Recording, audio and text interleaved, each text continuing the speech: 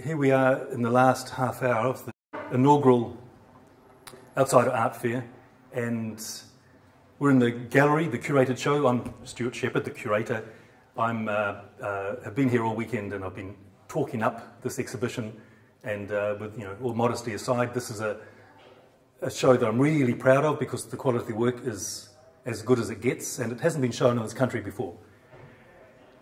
And, and to prove that it's uh, as good as it gets, we've got work from one of the top uh, uh, workshops for people with disabilities in California, Creativity Explored.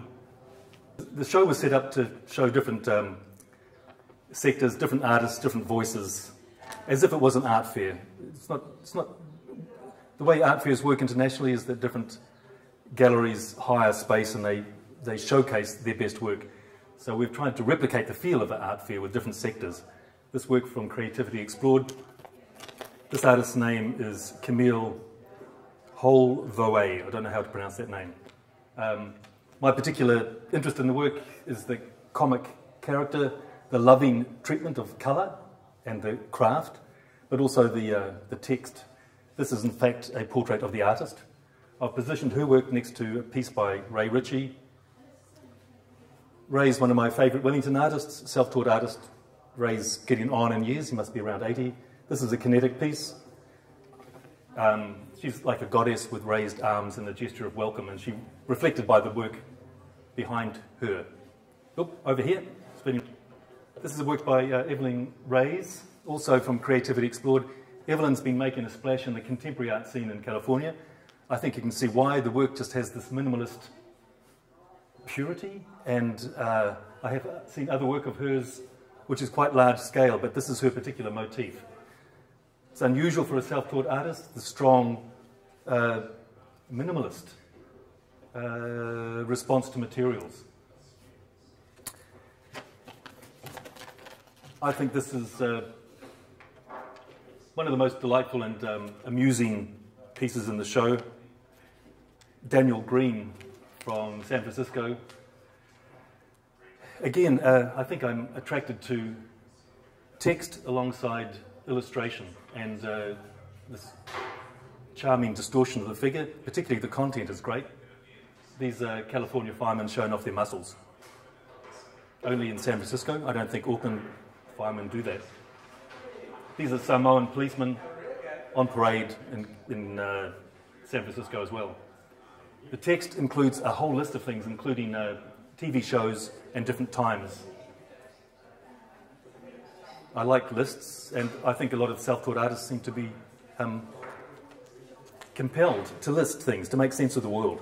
A friend of mine from Wellington, uh, we looked at one of his figurines before. These, these images are of sculptures Ray made. These are life-size sculptures of figures which became too cumbersome inside the house. Ray uh, was encouraged by his wife, Margaret, to put them outside. He did so, but he wanted to record them. so these are paintings of sculptures. He's also a poet, and this uh, somewhat comic madcap poetry accompanies the image. Great detail. I've given quite a big section to Ray. I'm not sure why, but I think his work is strong I think it's completely uh, his vision, and it's nice to see the work in a nice, clean space. Same for any artist. The context, a clean, respectable context, does help the work be seen. He's got a high key colour. I think this piece here is one of my favourites. She's missing a crown. Her crown was a old uh, rubber plug for a sink.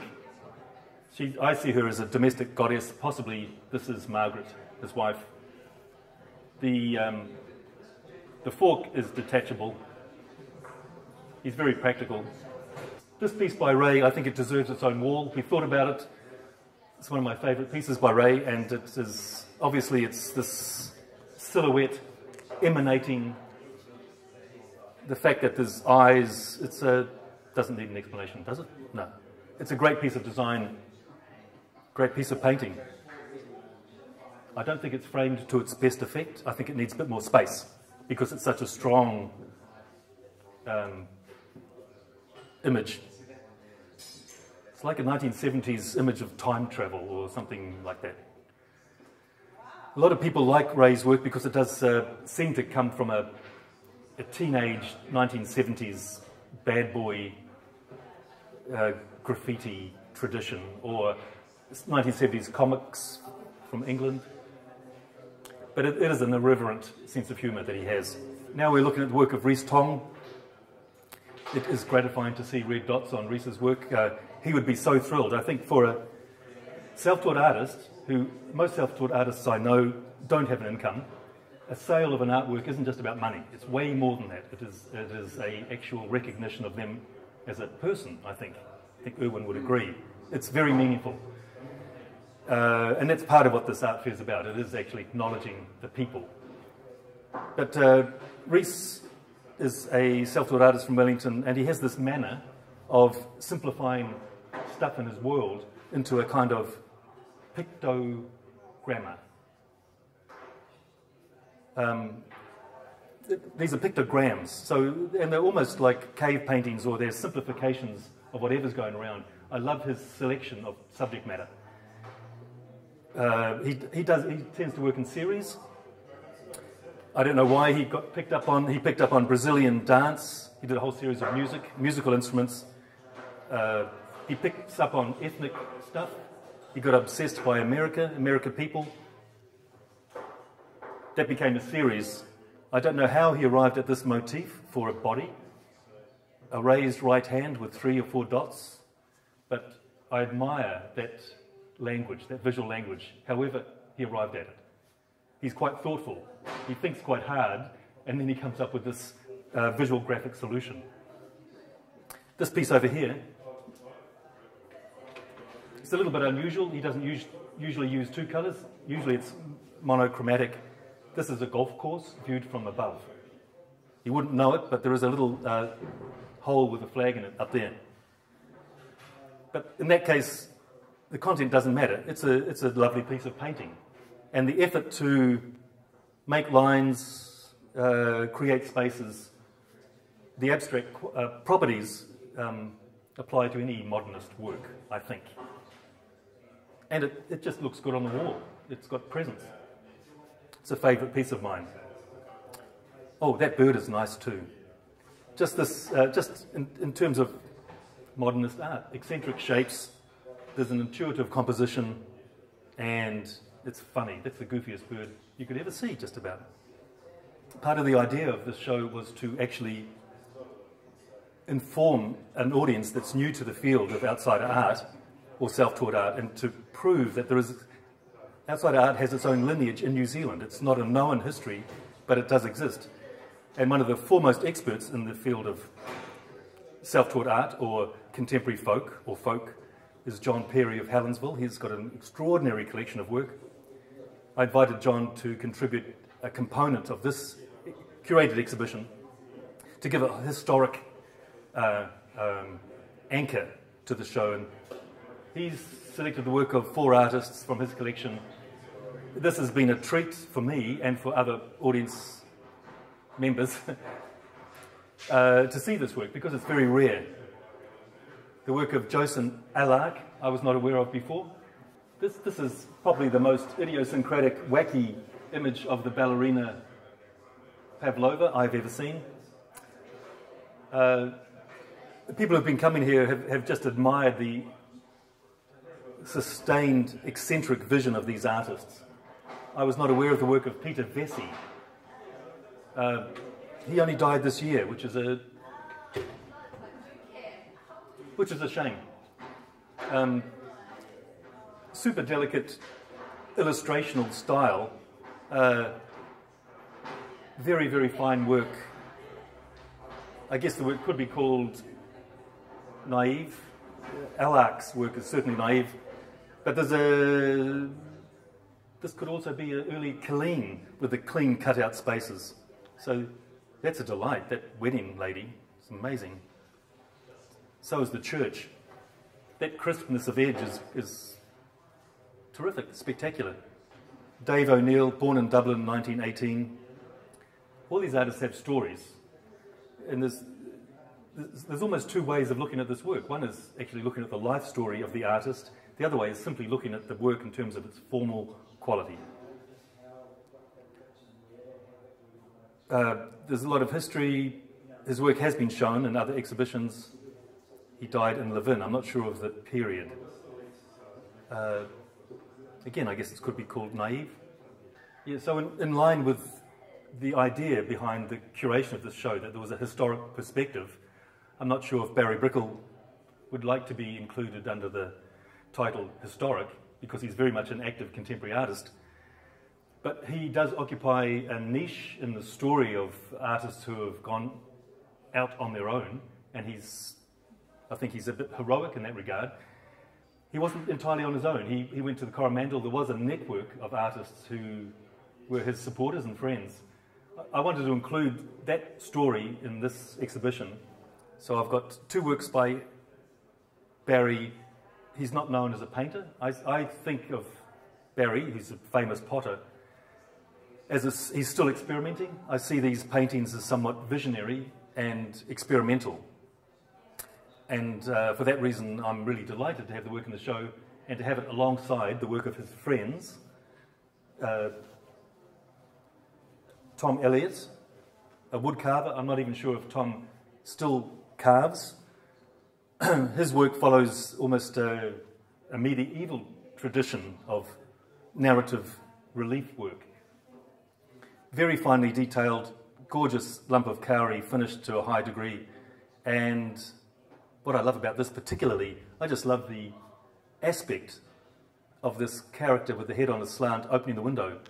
It's got a, a delight, just there's lots of beautiful details.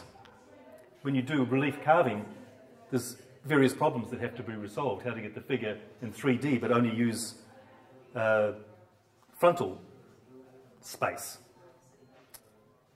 And uh, this is part of a series of works about the same scale that tell stories. Tom's partner is a painter, uh, Waylon Elliott, whose paintings chronicle events in her life and in the life of the community. Uh, the titles, often she depicts or commemorates particular events in the community. This is a wedding scene, I'm not sure who this is, uh, somebody, uh, a friend or family member at work in the workshop. All these characters are particular people with particular names and particular stories. I'm not even sure if there's a name for the art of artists who chronicle events. So it's a, it's a painted documentary uh, and it's sort of uh, full of delightful, knowing details. A couple whispering, uh, some guy taking a photograph, somebody taking care of the drinks. Um, beautiful little paintings. And, you know, I'm really grateful to Waylon who helped get this work here at the last minute. A lot of this show was put together with limited resources and a tight timeline, so um, it's really gratifying to see the work together here. This is a very special little corner, the work of Susan Te Kahurangi King, Susan's uh, renown in international art circles is, is, is rocketing skyward. It's, it, it's great to have this selection of three works here, selected by her sister Petita.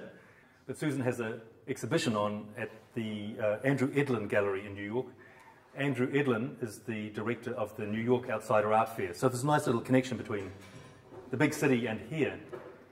Uh, anyway, three fabulous drawings by Susan as um, a great representative of the crossover between a self-taught artist and the contemporary art scene.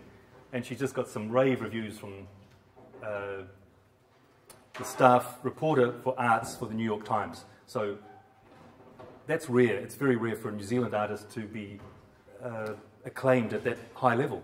I'm a huge fan of Susan's work. Simply, the skill level is extraordinary, let alone the content, which is wild. And what gets me, because I teach drawing, her engagement with the drawing process is uh, sensational. even, and these works were done when she was a child. So even as a child, she was so into the drawing process that she would chisel the lead of her pencil to create two edges and a flat surface so she could get the fine line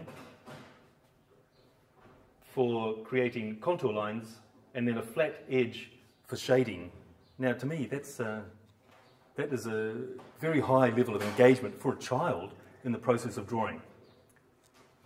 The treatment of these hands and the movement and the way different ways of looking at the hands um, shows a, a fantastic uh, engagement with the world, with looking at the phenomenal world. So it's almost like she was a scientist. So when something appeared on her radar, her visual radar, she would examine it and then play it back through her drawings. That level of engagement, that's what's been appreciated in New York by all sorts of uh, experts and critics. It's very unusual work, and it's a unique sort of contribution to the whole story of drawing, I think. Uh, this is the work of Colin Corrigan. Colin's become a friend. He works at Vincent's Art Workshop in Wellington. I used to work there, so I met Colin through the job. I guess Colin is a text-based artist. He, his favourite medium is ballpoint pen on paper. It took me a while to realise that, that Colin was actually also a book artist. The work of Martin Thompson. This is, a, I think, this is a lovely selection. His, Martin is probably one of the best known uh, self-taught artists in the country, and his works, you know, he's the first artist to be collected by the American Folk Art Museum which is a great, a great mark of uh, respect and, uh, and a great you know, indication of the significance that that institution attributes to his work. It's interesting that the curator who first found his work made the link between the collection of um, quilting that the American Folk Art Museum has and Martin's process. Uh, Martin, not only is he an, amazing mathematician, tech, technician, but he's also a colorist, and he's fascinated by the idea of visual dazzle. These are Day-Glo orange drawings. His process of using a scalpel, he probably wouldn't want to be talked about. I think Martin's interested in achieving perfection. This is an early piece, but um, where the process can be seen and the, um, the slightly degraded quality of the paper is also seen. Collectors don't care about that. They see that as part of the object of the drawing. The fact that the sellotape on the reverse side is starting to stain the front. Uh, his work is seen as, as drawing objects because the back and the process is part of the, uh, the magic of the work. This is the work of Roger Morris. Roger is a sculptor who works with often resistant materials. His work is quite physical. He works with stone and steel, often in large scale. These monotypes on a plasticized surface is a technique that he's, he's evolved, it's individual to him. process involves inking and removing and then applying and stenciling, a, a series of techniques. And it is, uh, these uh, seem like um, Roger's sketches But obviously the graphic quality is super strong. When I was installing the work, I uh, recognized that actually these shapes are TV screens and uh, Roger's politics of concern for what's happening to society and the American military might and its influence on our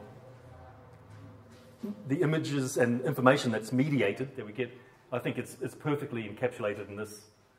I hope he likes the installation. That was my way of showing the work.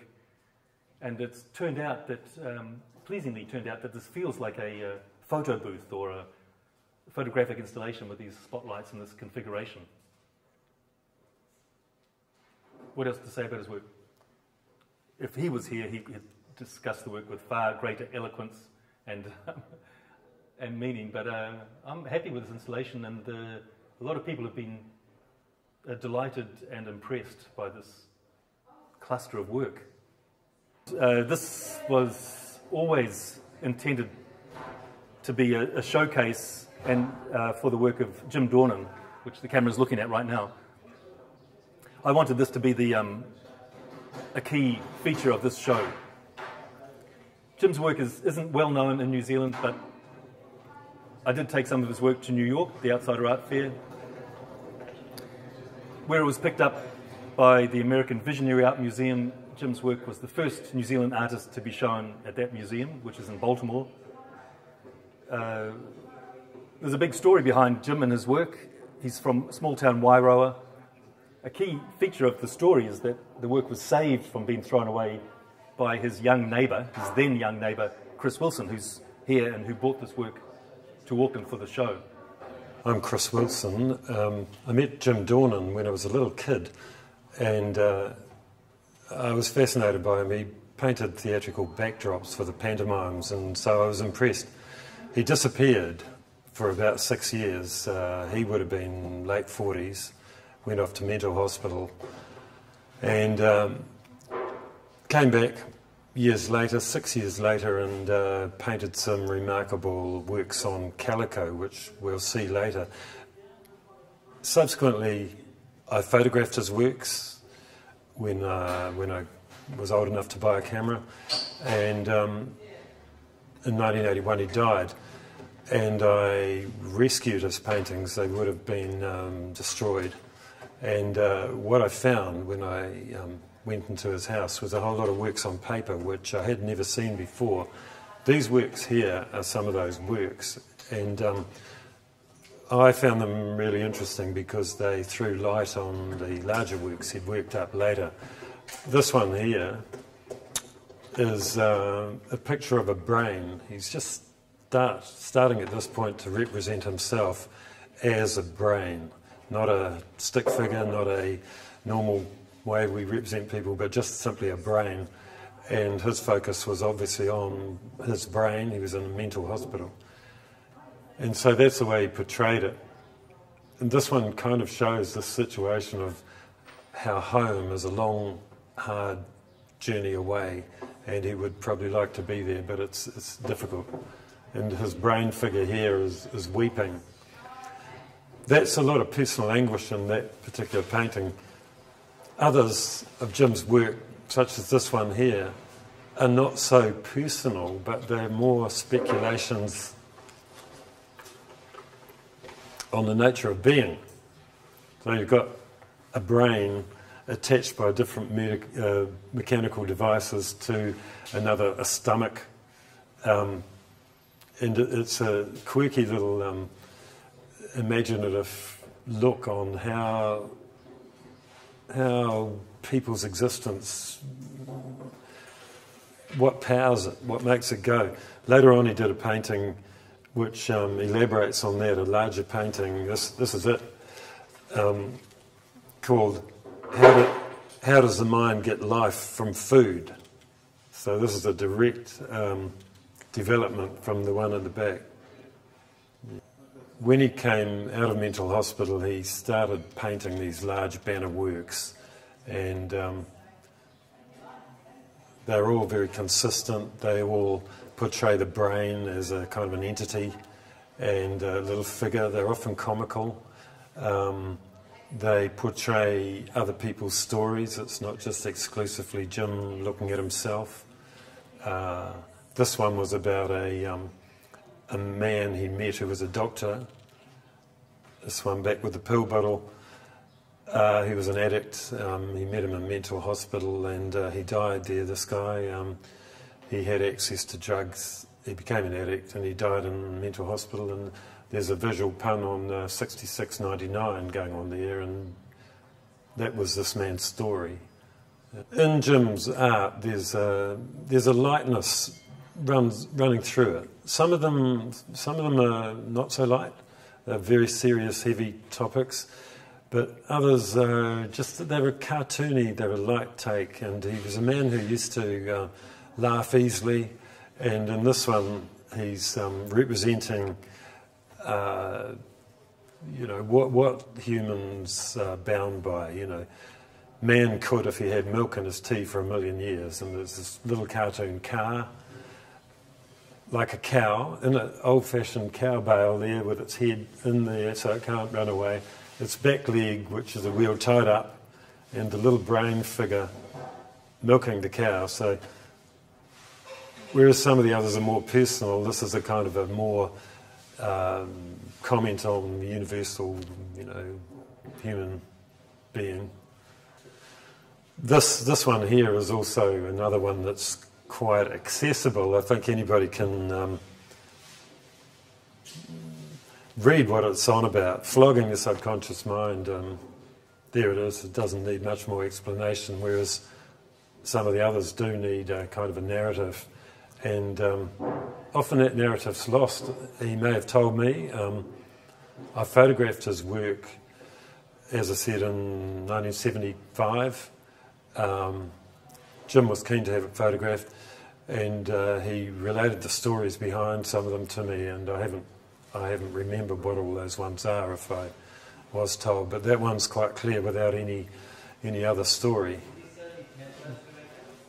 This, this one here, this one is another personal story. It's a, uh, a woman was um, scavenging at the local dump, and um, presumably this is the woman, a portrait of her, and to burn two dollars in a clean bag at the tip is a reference to the local council um, insisting that people put their rubbish in, in throwaway bags, and uh, Jim's kind of making a, a statement about that, but it's it's this woman's story and not not a you know personal interior scape of, of Jim Dornan's.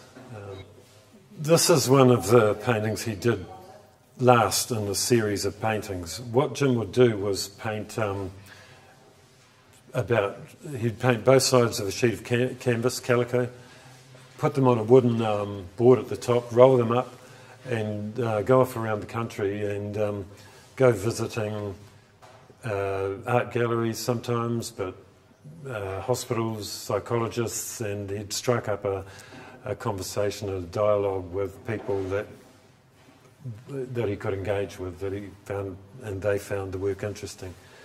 But this is one of his later series, and in this one, uh, every one of these has is a, some kind of pulse. So this is old pulse.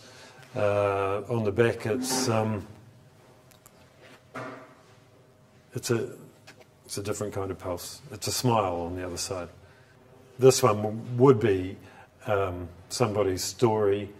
Um, I don't, I don't remember whose story it is if I ever did get told, but um, it's poetic. It's got these words, a feeling fleeting, a dwindling feeling. So it doesn't need uh, any more than that for you to, you know, gain access to that painting. Beautifully painted Maori woman's face. Jim's work um, often involves a question um, or a statement or two different parts of a statement. It's like a headline and a subhead. Um, this one here, in, after 1975, sometime perhaps late 70s, Jim, most of all of his paintings had this format. They had a large painting up here with, with deep tonal range. At the bottom, they had a white area with text. Jim sometime decided to rethink his colour theory and he, he got rid of the darkness. He uh, replaced it with pastel colours and lightened them up and he painted in around the words down the bottom. So there's two versions of all of these paintings, except for this one. This is the only one that he didn't, um, that he left as it was the earlier drawing that we um, looked at with home written on the side of the mountain that seemed so uh, a hard place to arrive at. Um, this is a development from there, but just to show the way Jim worked, um, this has now become the story of a man who took a horse around the East Cape, a man by the name of Jack Gemmell, um, hoping to go on a, a, a retirement holiday. He ended up pulling the horse, and here's the horse um, so the idea of a reluctant creature being taken somewhere has obviously got parallels with the uh, one with home in the background. So it's both Jim's story, Jack Gemmell's story, and a kind of a statement about education and mental hospital, mental health. This painting here is it's a painting that I had hanging on my own wall, and uh, it's very easy to live with. It's a um, gentle kind of. It's almost uh, Jim's epitaph. He's possibly painted it himself as an epitaph. Um, but it's such a gentle painting with a violin playing, and uh, it's it's not kind of maudlin. It's um, it's a lovely painting to be in the presence of. And uh, Jim Dornan listened to the tune of Promise, Goodbye and God Bless You. Um, when he died, he didn't have family. I went along as a friend um, and placed a wooden uh, marker on his grave that I'd carved his name in.